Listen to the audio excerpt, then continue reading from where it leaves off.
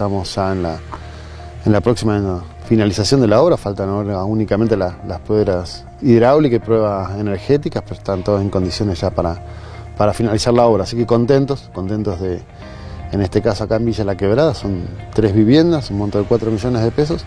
tres viviendas de un sueño espontáneo de más de 1.300 viviendas que tiene en ejecución el gobierno de la provincia, distribuida a lo largo y ancho. Así que contentos de que, de que el gobernador es el único gobernador que tiene en pie hoy por hoy un, un programa de construcción de viviendas, así que realmente orgullosos y siguiéndolo muy de cerca estas obras, obviamente.